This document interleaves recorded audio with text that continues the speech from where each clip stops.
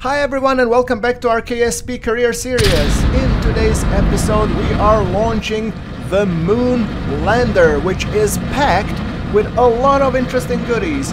We have Stepan Kruchitkin who is the pilot and Svetlana Oprichunka who is the scientist and we have loads of things to do on Mun so stick around this is gonna be awesome.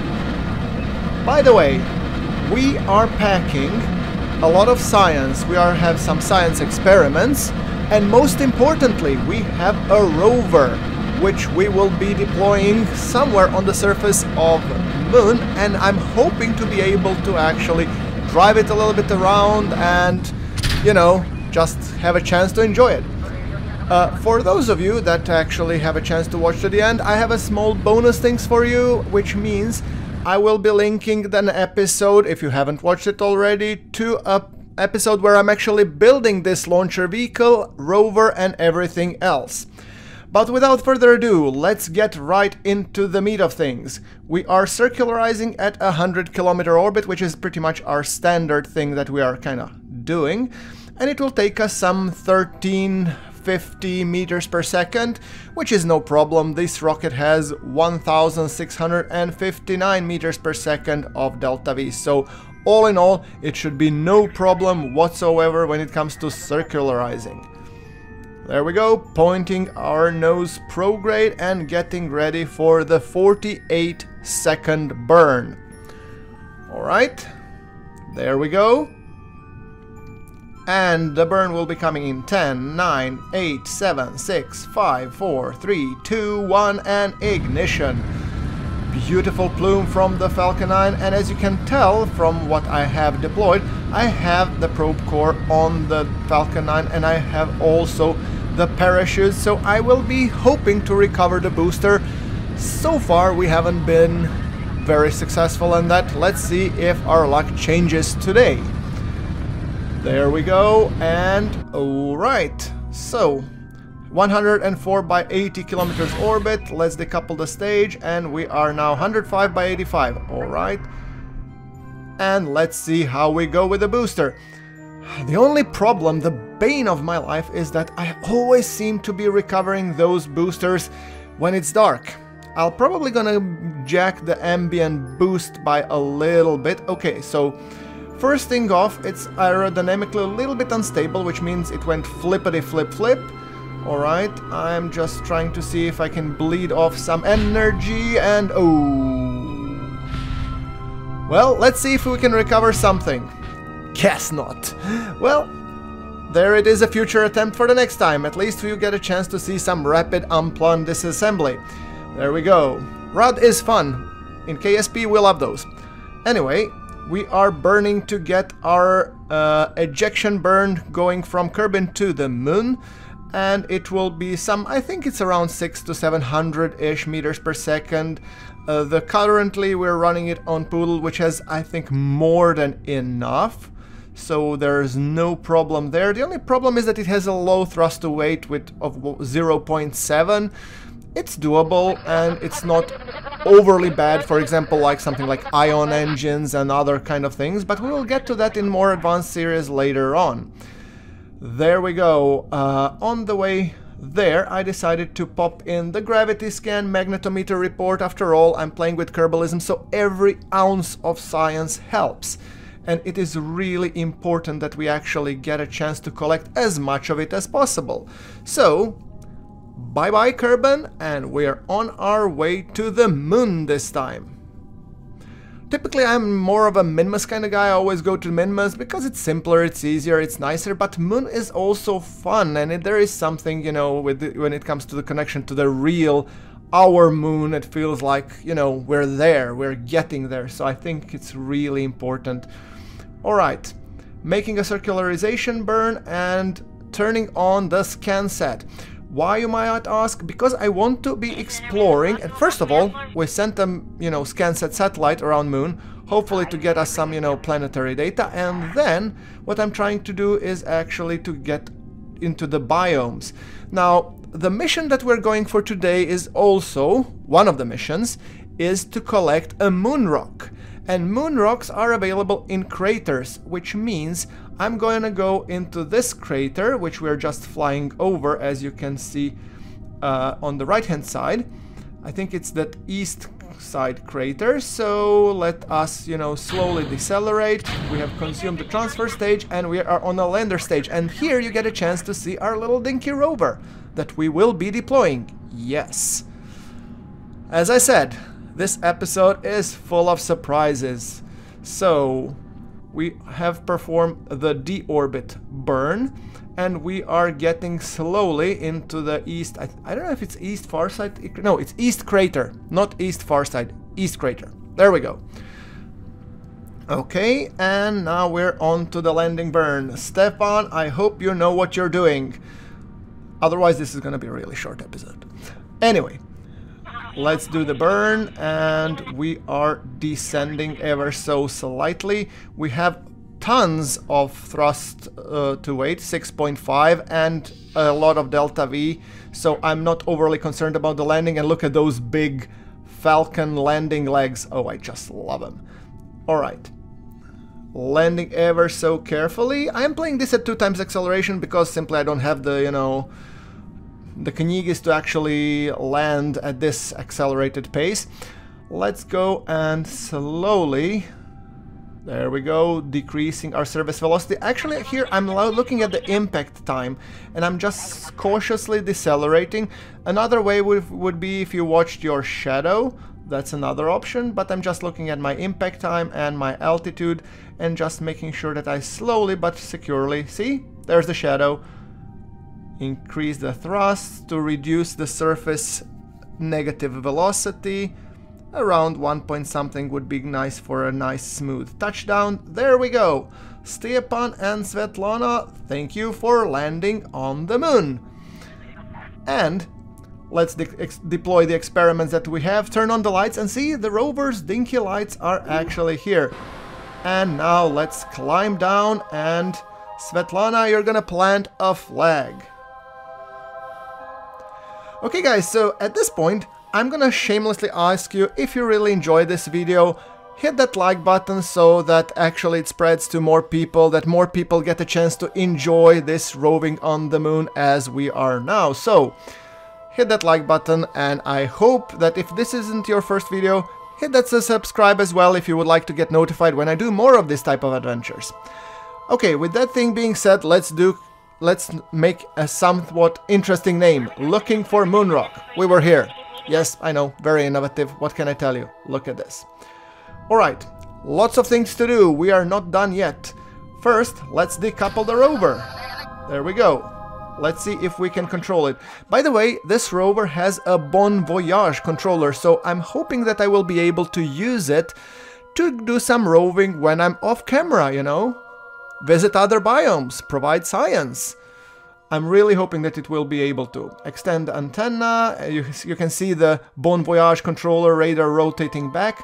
Let's collect the laser data, because we last time we were here we didn't actually collect that laser data. 18 science, see?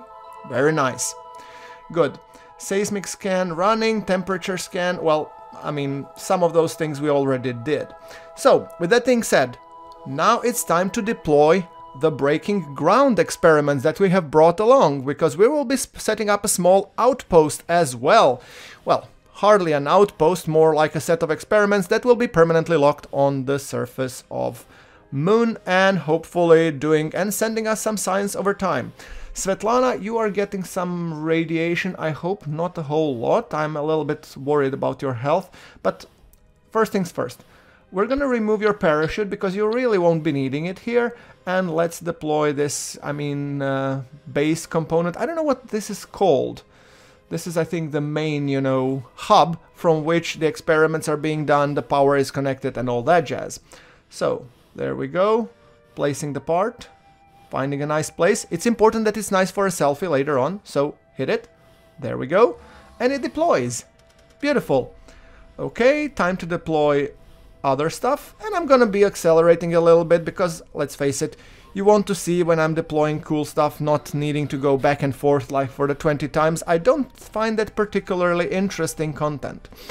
There we go. Solar panels radio dish so that we can radio in our findings back home. I will be placing two more solar dishes because, you know, Svetlana is a scientist, she's not an engineer. So once she deploys the experiments, they will not be producing that much more power, so I think it's good to be a little bit on the redundancy side.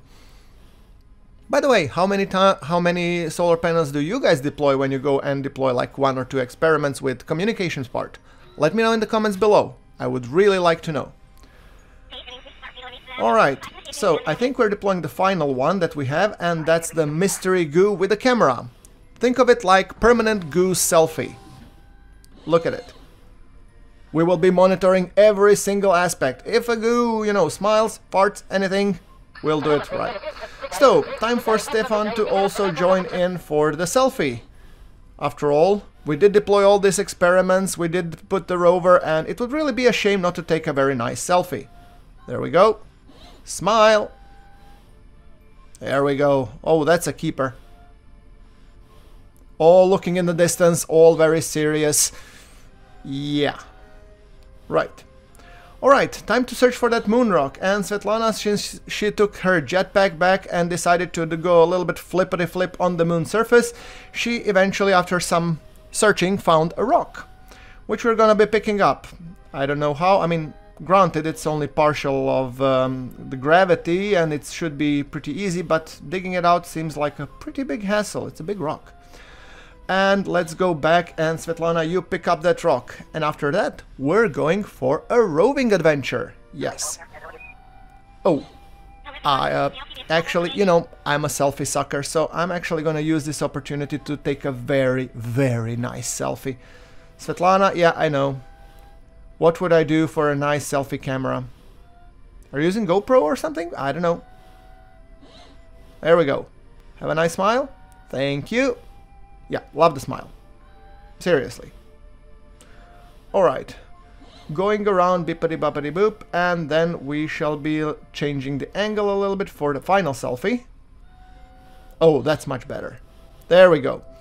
Alright, time to get our Kerbals back into the craft so they don't die from extreme radiation, which can be happening. You never know, a solar storm might hit later on, and I don't want them to be on the surface after all. There we go. After all, you know, the cabin is exposed to more shielding and everything like that. So, time to get roving. Finally, you say. I hear ya.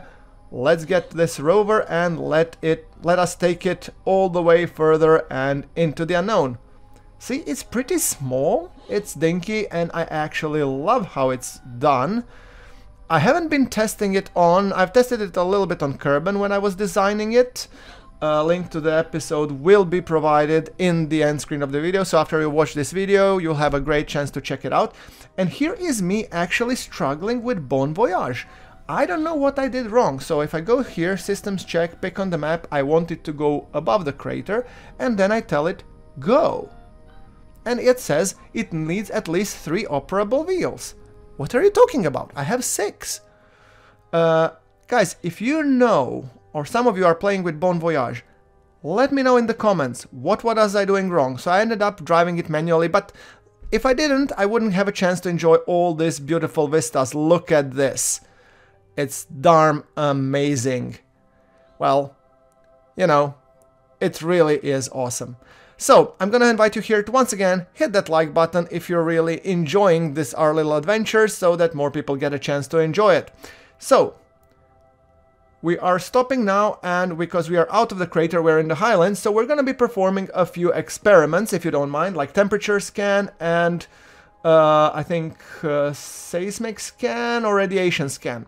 So those are once those are done, I think I will be taking my Kerbals back home for science shingles. Let's see how much science we're able to get. The experiments will remain there and they will hopefully be executing, I hope at least and picking up the landing gear. Svetlana and Stepan, there we go. Look how far our rover has gone. That's a quite a, you know, roving trip if you ask me. There we go. Beautiful launch up and away. Awesome. Nice screenshot, actually, that is. Now, we are, will be circularizing our approach pretty soon in roughly 50 seconds. I just want to deploy again magnetometer and RPWS if we can to gather a little bit more science. After all, every ounce of science counts. There we go, 3, 2, 1, and ignition. Beautiful. Beautiful views, yes. Alright, we are in the orbit and now one final thing which remains is actually try and return to back to Kerbin, find a good periapsis and hopefully not burn up in the atmosphere on the return. So fiddling a little bit with the periapsis, trying to get it to a roughly 30, 40-ish area and then, you know, doing the burn in 3, 2, 1. There we go, 200 meters per second burn. As you can see, we have 500 meters per second, which is more than enough in our core stage, or actually our ascent, return, landing stage, we'll call it whatever you want. And we have a little bit in the capsule itself, because I'm playing with this SpaceX, you know, Dragon capsule, which has this Super Draco engines if we ever need to use them. Yes. Uh, moon batteries are almost empty. No more control on the rover. Uh, you don't say. I mean, you, you have sunlight, maybe it's because it's been chugging on in the experiments, I wouldn't know. Well, regardless, it's time to be coming back to Kerbin, so orient our craft orbit retrograde, pull in all the experiments, not that we'll be needing them, transfer all the science that we can into the core capsule, and then we shall be performing the landing. Okay, there was the camera giving me some flippy time. We have 430 meters per second, so once we are entering the atmosphere, I'm gonna burn them to decelerate ever so carefully. So transfer the data here so we don't lose it. And then I'm gonna be staging this bad boy. Bye-bye. And thank you. Hopefully, this won't blow up in our face, or at least I'm hoping it won't. There we go. Oh! Explosions! Well, they're the integral part of the KSP experience. I mean, what would be KSP without explosions? But apparently not much has gone, you know, banana, so maybe at some future I could actually be returning the second stage. Hmm, should I do the starship thing? I wonder. Alright, with the re-entry heating complete, our capsule is slowly descending towards the ground, and by slowly I mean supersonic still, but um, now we're gonna subsonic, there we go.